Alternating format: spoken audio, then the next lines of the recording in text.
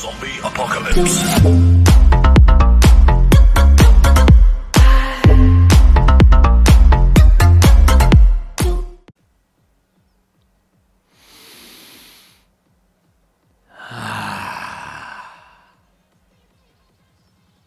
Ist das nicht herrlich?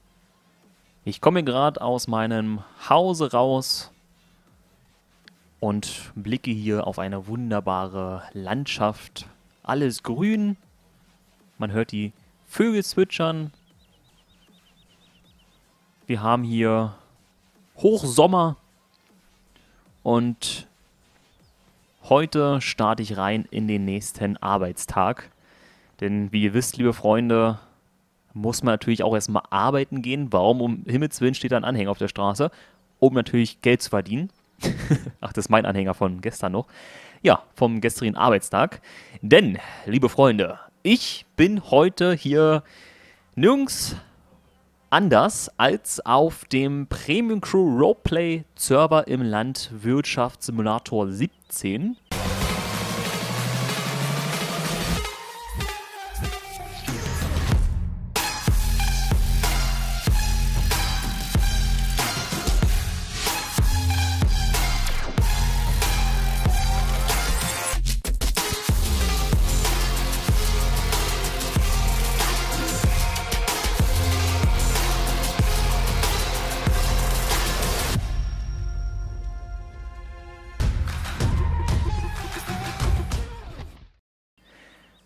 diesem Sinne darf ich euch jetzt mal hier recht herzlich begrüßen zu einem neuen Video auf meinem YouTube-Kanal. Genau, also, ihr habt ja jetzt bestimmt sicherlich schon mitbekommen, dass das jetzt hier mein Haus ist. Ähm, ich wohne eigentlich genau schräg rüber von der Hauptfeuerwache hier in Inntal. Das ist die Feuerwache Inntal. Da werden wir natürlich gleich auch mal hinfahren. Aber, lieber Zuschauer, äh, als kleine Info an dich einfach mal. Wenn ich dich duzen darf natürlich, dann würde ich das auch gerne machen. Ähm, als kleine Info für dich, ich ähm, zeige dir heute einfach mal so ein bisschen die Map, ähm, was hier so Phase ist, äh, wie viele Leute eigentlich hier drauf sind, also wie viele andere Leute auch arbeiten gehen, so wie ich. das möchte ich dir heute einfach mal ein bisschen zeigen. Ähm, also begleite mich, falls du doch gerne Lust hast, einfach mal heute in diesem Video und ich würde mich sehr freuen, wenn ihr euch das Video einfach mal komplett von vorne bis hinten ansehen würdet. Wenn ihr das oder wenn du das gerne machen möchtest, lieber Zuschauer, ich würde mich sehr freuen, wirklich. Du kannst auch mal gerne so ehrlich sein und mir das einfach mal in die Kommentare schreiben. Das wäre mir wirklich sehr, sehr wichtig, wenn ihr euch einfach mal das komplette Video in voller Länge einfach mal anschaut. Vielen Dank. So, wo sind wir stehen geblieben? Das ist erstmal mein Haus. Mein schwarzer Pickup, den ähm, eigentlich fast jeder bekommt, der auf dem Server hier neu ist. Also natürlich muss man auch erstmal ein Startkapital haben. Ähm, und dann muss man sich sozusagen erstmal einen Pkw kaufen. Das ist erstmal Voraussetzung, ähm, damit man auch erstmal zur Feuerwache fahren kann. Dann habe ich noch so, so einen kleinen Anhänger, ja, für Service-Sachen äh, und so weiter. Also es ist so ein kleiner Kraftstoffanhänger mit Kraftstoff drin und da kann ich auf jeden Fall mit ähm, anderen Leuten helfen, aber der kam jetzt bisher noch nie irgendwie richtig zum Einsatz. Apropos Einsatz, wir können mal ganz kurz in die Feuerwache fahren, denn ich glaube, die meisten von euch möchten das ja gerne wissen, in welcher Feuerwache ich denn eigentlich hier angestellt bin. Das ist ja hier die Feuerwache Intal. Da fährt man dann eigentlich immer hin, wenn man einen Einsatz reinbekommt. Sieht man auch deutlich jetzt hier, Feuerwehr Intal steht da. Wir haben ja 1, 2, 3, 4, 5 Tore, also müssen ja eigentlich dahinter auch fünf Einsatzfahrzeuge stehen.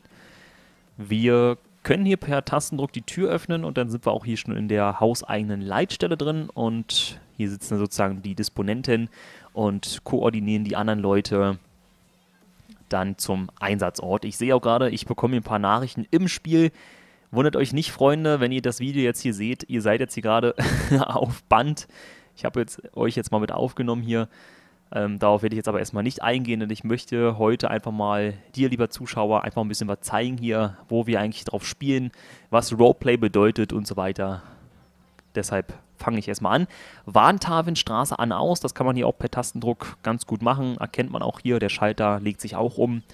Zeige ich euch gleich, was damit gemeint ist. Hier haben wir jetzt die richtige Leitstelle. Hier sitzen dann sozusagen die Leute und hier hinten ist das kleine Büro. So habe ich das mal genannt. Da hinten guckt ein Busch durch die Wand. Ist die neueste Deko hier in der Feuerwache. Dann haben wir natürlich auch ähm, hier einen Lichtschalter. Den können wir auch ein- und ausschalten. Sieht man jetzt hier in der Fahrzeughalle. Ähm, dann haben wir etwas ganz Besonderes. Da klickst du einmal rauf. Alle Tore auf. Wenn man zum Beispiel einen Einsatz hat, öffnen sich alle Tore per Tastendruck. Automatisch natürlich. Und dann kann man sozusagen hiermit die Fahrzeuge ausrücken und wie gesagt zum nächsten Einsatzort fahren. So, wir können es einfach mal machen hier mit, ähm, ich würde sagen, mit dem TLF. Das TLF vom lieben Tim. Nochmal vielen, vielen Dank an dich, lieber Tim, der auch ein treuer Mitspieler ist hier auf dem Roleplay-Server im LS17. Vielen Dank für dieses wunderschöne Fahrzeug.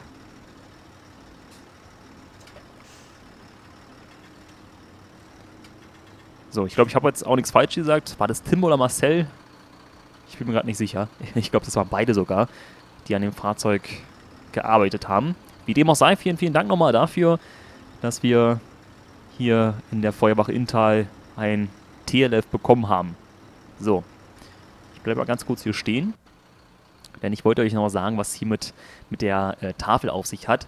Also ihr habt da drin eben vor kurzem gesehen, ähm, dass da ein Schalter ist, den man aktivieren kann. Dann steht sozusagen hier auf den Schild Achtung, Einsatz und so weiter. Also wird man sozusagen darauf hingewiesen, dass gerade ein Einsatz stattfindet, damit auch die anderen Verkehrsteilnehmer sofort Bescheid wissen, was denn jetzt eigentlich los ist. Deshalb, das ist eigentlich gar nicht mal so eine schlechte Funktion, die man hier hat vor der Wache. Das ist schon echt originalgetreu angepasst. Das gefällt mir richtig gut. Hier bin ich ähm, noch dabei, etwas zu bauen. Das Grundstück hatte ich ja im letzten Stream ähm, erbaut. Schon wieder ist der Rasen hoch. Hier stehen ein paar Fahrzeuge rum. Ein LF8, das vor kurzem in der Werkstatt war. Das äh, weiß ich nicht, ob das ausrangiert wird. Ich bin mir nicht sicher. Hier haben wir einen Valtra-Traktor, der tarnt sich hinterm Busch.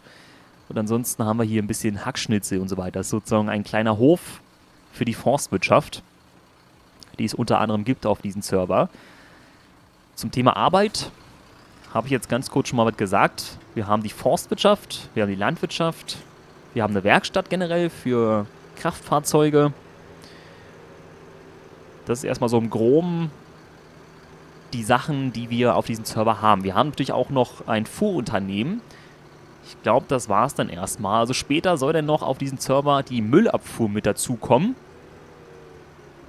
Das finde ich natürlich auch richtig cool, dass wir dann das hoffentlich irgendwie mit einbauen können, dass man sozusagen auch Müllfahrer ist und dann kann man sozusagen auch als Müllfahrer die Säcke vor den Häusern einsammeln und dann muss man die sozusagen mit dem Müllwagen zum Betriebshof fahren.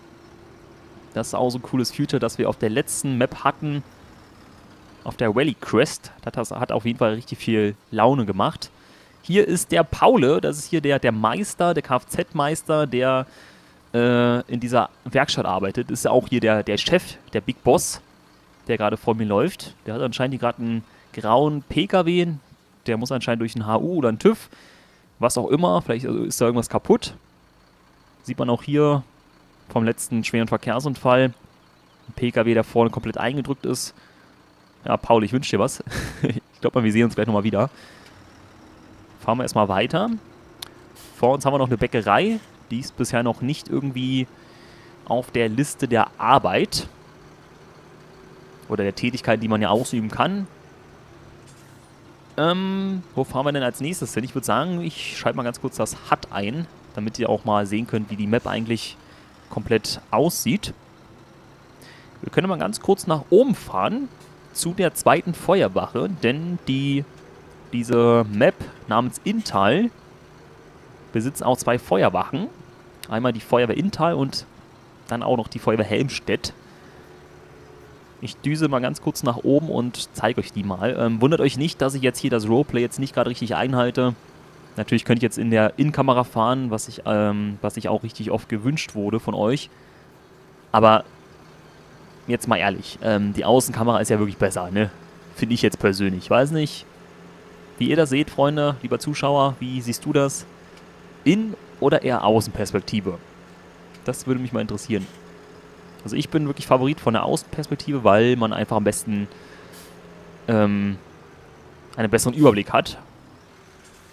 Und da sieht man natürlich auch mal die Fahrzeuge in Action oder in Aktion. Das ist wirklich so meine Lieblingsperspektive. Jo.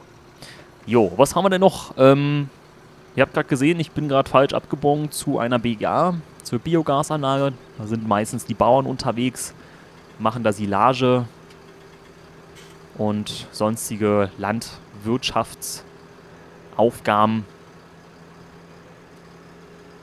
Jetzt muss ich erstmal ein bisschen, ein bisschen fahren, bis ich in der zweiten Feuerwache angekommen bin. Also das dauert noch ein bisschen.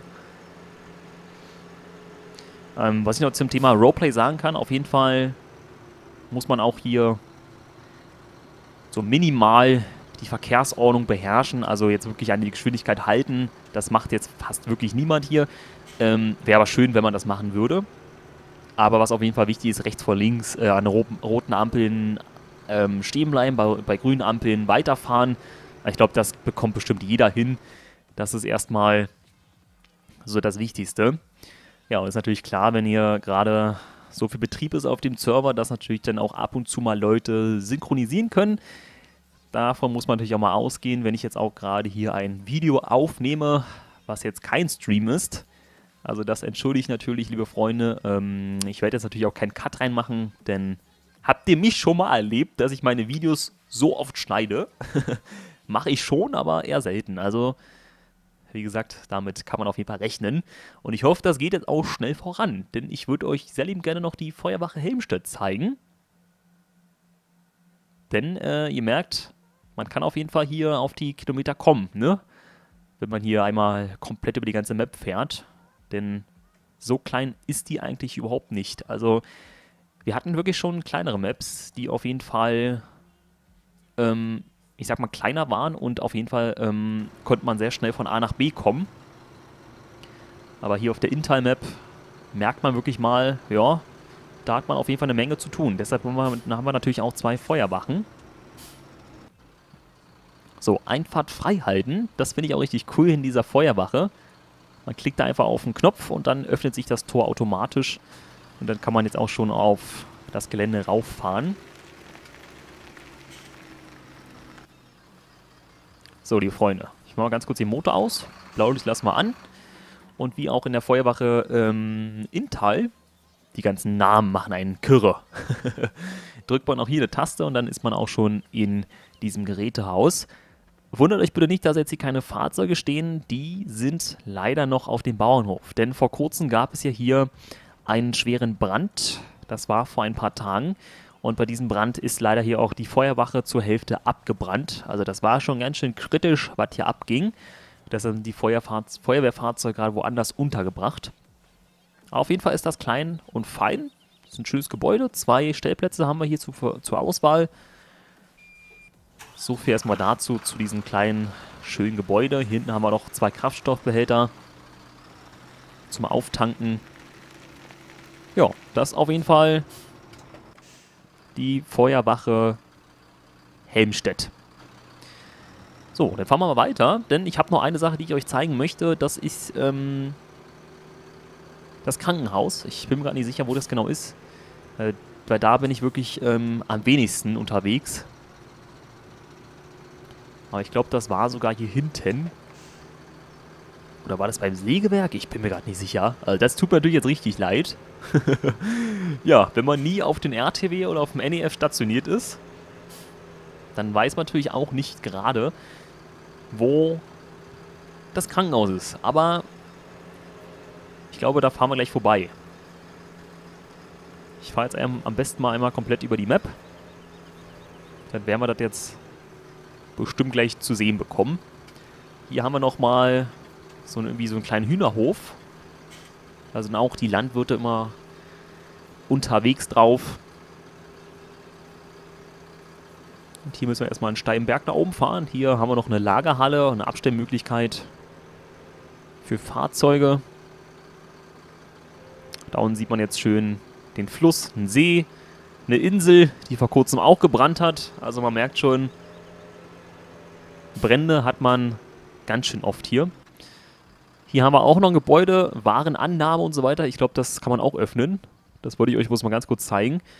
Hier kann man zum Beispiel auch nochmal Landmaschinen oder Forstmaschinen unterbringen. Also, man hat wirklich so viel Stellplätze hier auf der Map. Das ist Wahnsinn. Da kann man sich wirklich aussuchen, wo man jetzt eigentlich wohnt, wo man sich hinstellt und so weiter. Also das mit den Wohnen war jetzt nicht ernst gemeint, weil ich würde sagen, ich erzähle das gleich mal. Also ich habe noch ein bisschen was zu, äh, loszuwerden, ein bisschen was zu erzählen, was ich gerne dir, lieber Zuschauer, noch einmal übermitteln möchte. Was natürlich jetzt den LS17 Roleplay-Server betrifft. Denn es gibt natürlich auch noch einige Sachen, die ich sagen möchte. Die habe ich natürlich auch schon in den anderen Videos gesagt. Aber trotzdem, das merkt sich natürlich viel besser, wenn ich jetzt gerade schon so ein längeres Video mache.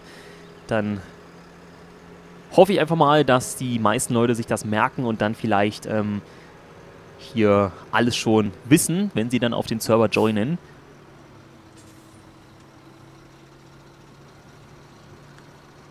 So, hier haben wir den McDonalds. da ist immer viel Betrieb. Da steht auch gerade ein PKW im McDrive. Hier ist wirklich schon was los. Also Intal ist wirklich schon eine Map, die gut besetzt ist.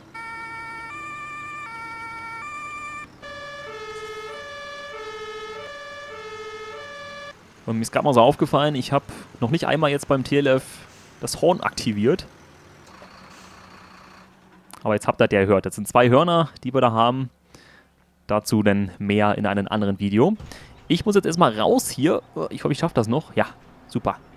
Dann gehe ich mal ganz kurz nach oben, deaktiviere mal ganz kurz das HUD und zeige ich mal so ein bisschen ganz kurz die Map von oben. Und dann kann ich ja bestimmt noch gleich ein bisschen laufen. ein bisschen hin und her laufen.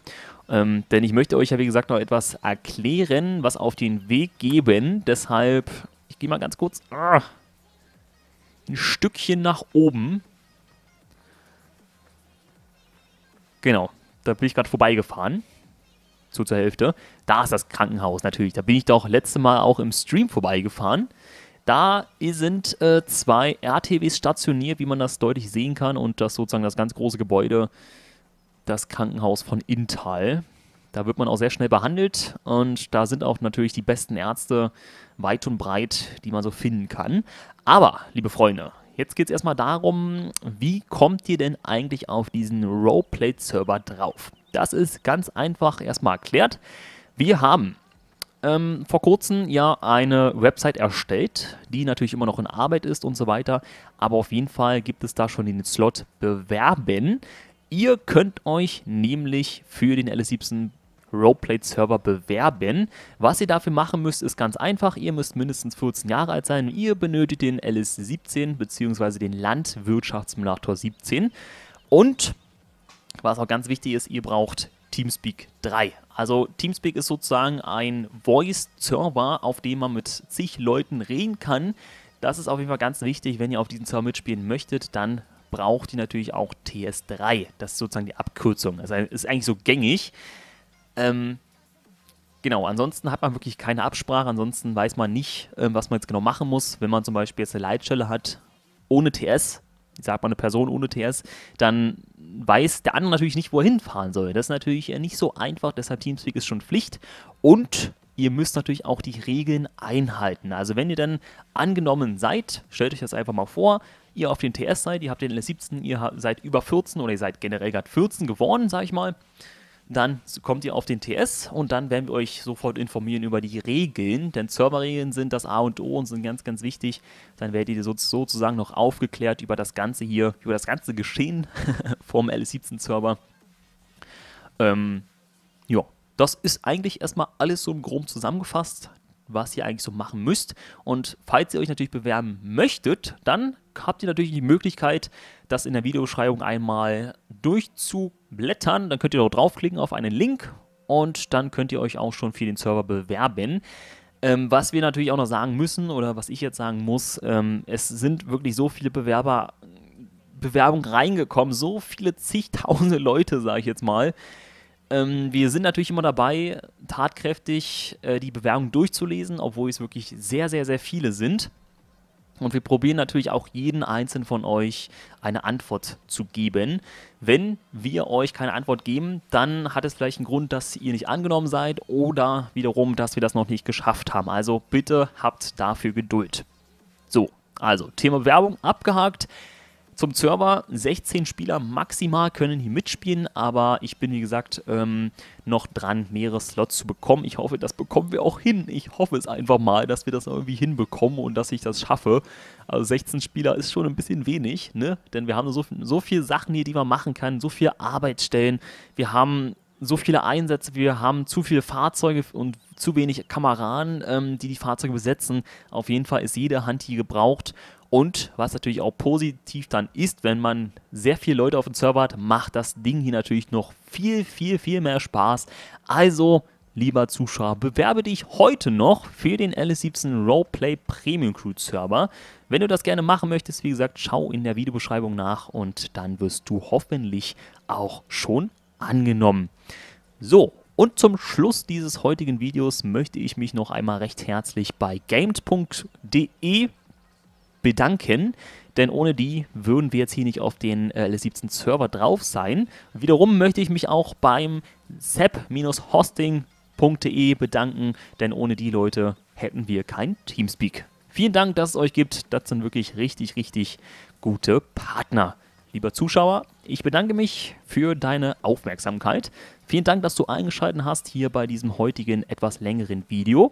Und wie gesagt, bewerb dich, komm auf TS vorbei, wir können ein bisschen quatschen und dann kriegen wir das schon auf jeden Fall irgendwie hin, dass du hier auf den Server mitspielen kannst. Mach's gut, wir sehen uns, bleib so wie du bist, mach's gut. Ciao.